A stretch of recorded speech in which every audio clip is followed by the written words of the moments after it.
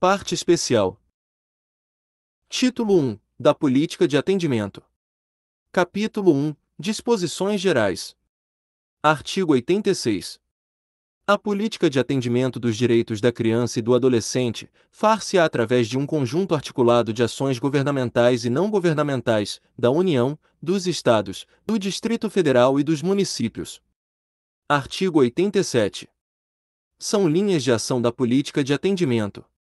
Inciso 1. Políticas sociais básicas. Inciso 2. Serviços, programas, projetos e benefícios de assistência social de garantia de proteção social e de prevenção e redução de violações de direitos, seus agravamentos ou reincidências. Inciso 3. Serviços especiais de prevenção e atendimento médico e psicossocial às vítimas de negligência, maus tratos, exploração, abuso, crueldade e opressão.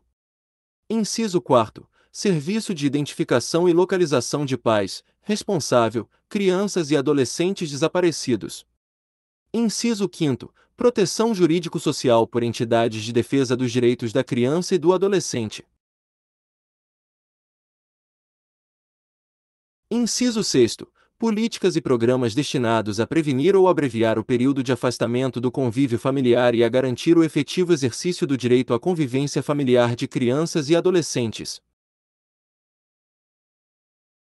Inciso 7 campanhas de estímulo ao acolhimento sob forma de guarda de crianças e adolescentes afastados do convívio familiar e a adoção, especificamente interracial, de crianças maiores ou de adolescentes, com necessidades específicas de saúde ou com deficiências e de grupos de irmãos. Parágrafo único. A linha de ação da política de atendimento a que se refere o inciso 4 do caput deste artigo será executada em cooperação com o Cadastro Nacional de Pessoas Desaparecidas, criado pela Lei nº 13.812, de 16 de março de 2019, com o Cadastro Nacional de Crianças e Adolescentes Desaparecidos, criado pela Lei nº 12.127, de 17 de dezembro de 2009, e com os demais cadastros, sejam eles nacionais estaduais ou municipais. Artigo 88. São diretrizes da política de atendimento. Inciso 1. Municipalização do atendimento. Inciso 2. Criação de conselhos municipais, estaduais e nacional dos direitos da criança e do adolescente, órgãos deliberativos e controladores das ações em todos os níveis, assegurada a participação popular paritária por meio de organizações representativas, segundo leis federal, estaduais e municipais. Inciso 3. Criação e manutenção de programas específicos, observada a descentralização político-administrativa. Inciso 4. Manutenção de fundos nacional, estaduais e municipais vinculados aos respectivos Conselhos dos Direitos da Criança e do Adolescente. Inciso 5 integração operacional de órgãos do Judiciário, Ministério Público, Defensoria, Segurança Pública e Assistência Social, preferencialmente em um mesmo local, para efeito de agilização do atendimento inicial adolescente a quem se atribua autoria de ato infracional. Inciso 6. Integração operacional de órgãos do Judiciário, Ministério Público, Defensoria, Conselho Tutelar encarregados da execução das políticas sociais básicas e de assistência social, para efeito de agilização do atendimento de crianças e de adolescentes inseridos em programas de acolhimento familiar ou institucional, com vista na sua rápida reintegração à família de origem ou, se tal solução se mostrar comprovadamente inviável, sua colocação em família substituta, em quaisquer das modalidades previstas no artigo 28 desta lei. Inciso 7. Mobilização da opinião pública para a indispensável participação dos diversos segmentos da sociedade. Inciso 8. Especialização e formação continuada dos profissionais que trabalham nas diferentes áreas da atenção à primeira infância, incluindo os conhecimentos sobre direitos da criança e sobre desenvolvimento infantil. Inciso 9. Formação profissional com abrangência dos diversos direitos da criança e do adolescente que favoreça a intersetorialidade no atendimento da criança e do adolescente e seu desenvolvimento integral. Inciso 10. Realização e divulgação de pesquisas sobre desenvolvimento infantil e sobre prevenção da violência. Artigo 89. A função de membro do Conselho Nacional e dos Conselhos Estaduais e Municipais dos Direitos da Criança e do Adolescente é considerada de interesse público relevante e não será remunerada. Capítulo 2 Das Entidades de Atendimento. Seção 1 Disposições Gerais. Artigo 90. As entidades de atendimento são responsáveis pela manutenção das próprias unidades, assim como pelo planejamento e execução de programas de proteção e socioeducativos destinados a crianças e adolescentes, em regime de Inciso 1 Orientação e apoio sociofamiliar. Inciso 2 Apoio socioeducativo em meio aberto. Inciso 3 Colocação familiar. Inciso 4 Acolhimento institucional. Inciso 5 Prestação de serviços à comunidade. Inciso 6. Liberdade assistida. Inciso 7. Semi-liberdade. Inciso 8. Internação.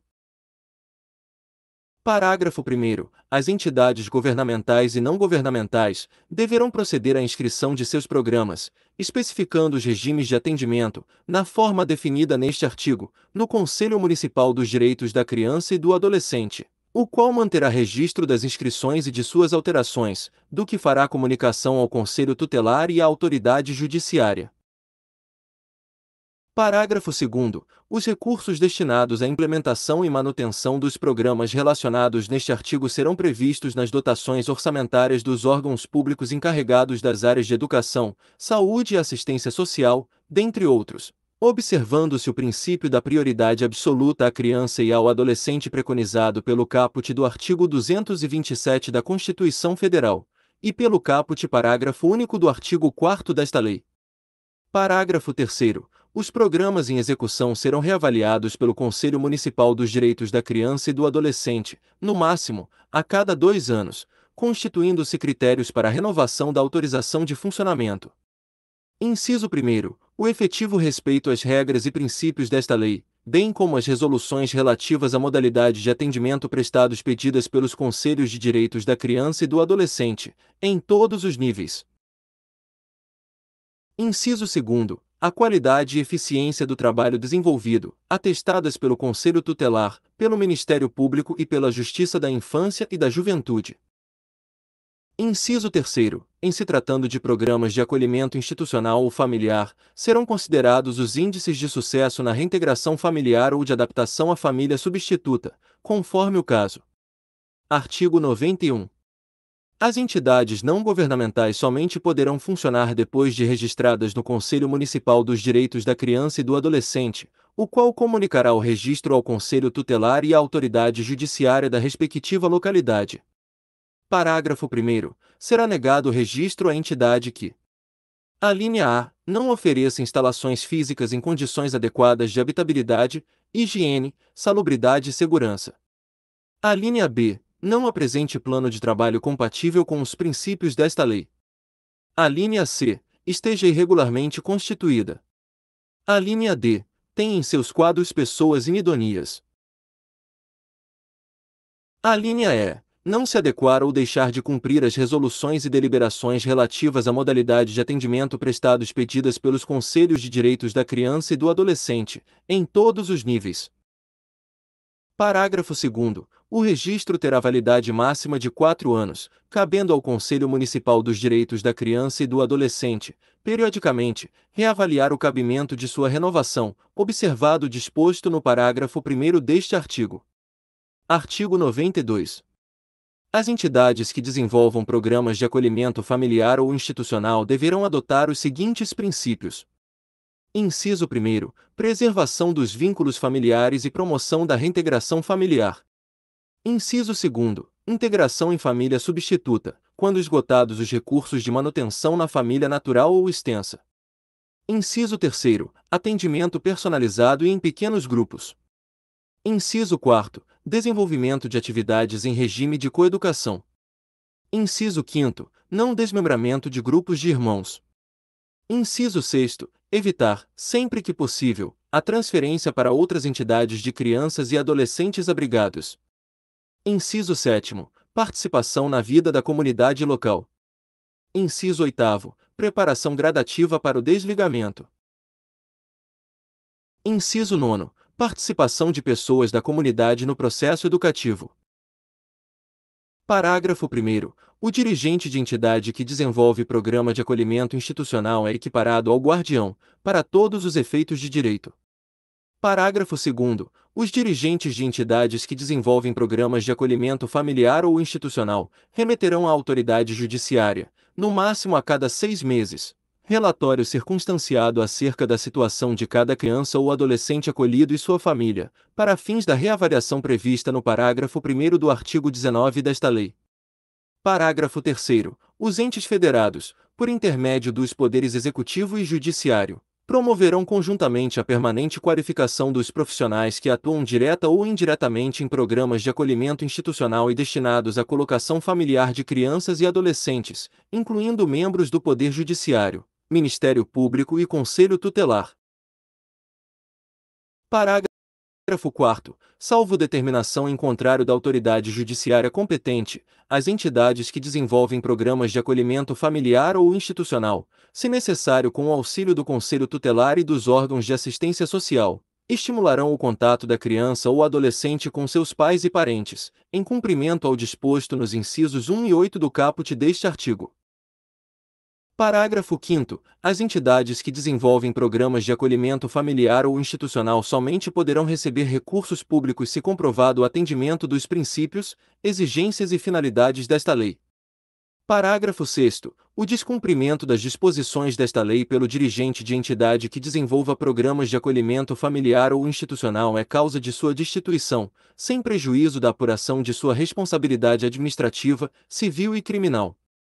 Parágrafo 7 quando se tratar de criança de 0 a 3 anos em acolhimento institucional, dar-se-á especial atenção à atuação de educadores de referência estáveis e qualitativamente significativos, às rotinas específicas e ao atendimento das necessidades básicas, incluindo as de afeto como prioritárias. Artigo 93. As entidades que mantenham programa de acolhimento institucional poderão, em caráter excepcional e de urgência, acolher crianças e adolescentes sem prévia determinação da autoridade competente, fazendo comunicação do fato em até 24 horas ao juiz da infância e da juventude, sob pena de responsabilidade. Parágrafo único. Recebida a comunicação, a autoridade judiciária, ouvido o Ministério Público e, se necessário, com o apoio do Conselho Tutelar Local, tomará as medidas necessárias para promover a imediata reintegração familiar da criança ou do adolescente ou, se por qualquer razão não for isso possível ou recomendável, para seu encaminhamento a programa de acolhimento familiar, institucional ou a família substituta, observado o disposto no parágrafo 2 do artigo 101 desta lei. Artigo 94. As entidades que desenvolvem programas de internação têm as obrigações, em inciso 1, observar os direitos e garantias de que são titulares os adolescentes.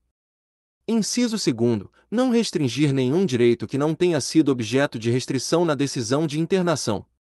Inciso 3, oferecer atendimento personalizado, em pequenas unidades e grupos reduzidos. Inciso 4, preservar a identidade e oferecer ambiente de respeito e dignidade ao adolescente. Inciso 5. Diligenciar no sentido do restabelecimento e da preservação dos vínculos familiares. Inciso 6. Comunicar à autoridade judiciária, periodicamente, os casos em que se mostra inviável ou impossível reatamento dos vínculos familiares. Inciso 7. Oferecer instalações físicas em condições adequadas de habitabilidade, higiene, salubridade e segurança e os objetos necessários à higiene pessoal. Inciso 8. Oferecer vestuário e alimentação suficientes e adequados à faixa etária dos adolescentes atendidos. Inciso 9. Oferecer cuidados médicos, psicológicos, odontológicos e farmacêuticos.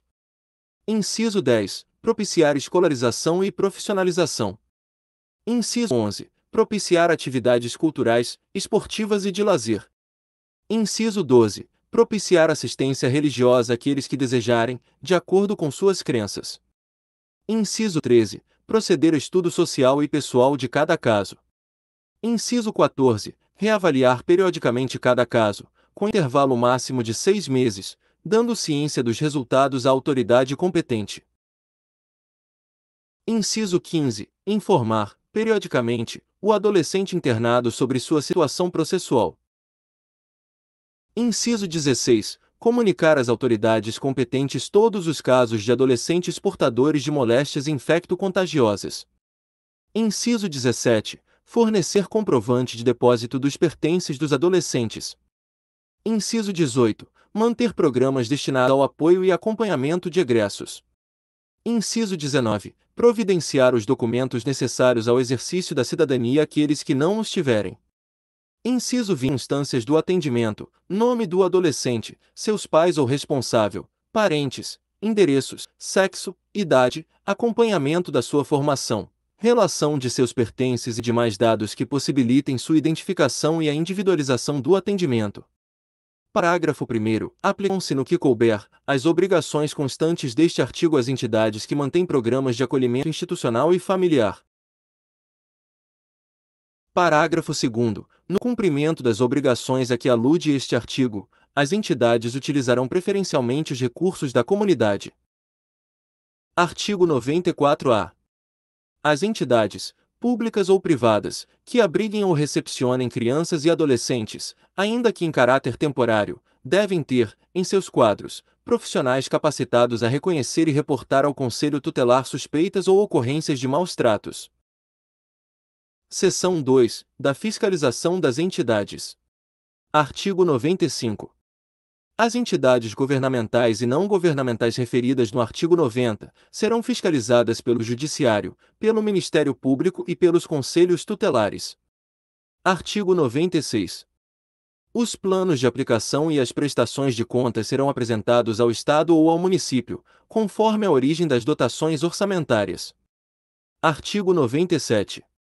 São medidas aplicáveis às entidades de atendimento que descumprirem a obrigação constante do artigo 94, sem prejuízo da responsabilidade civil e criminal de seus dirigentes ou prepostos. Inciso 1. As entidades governamentais.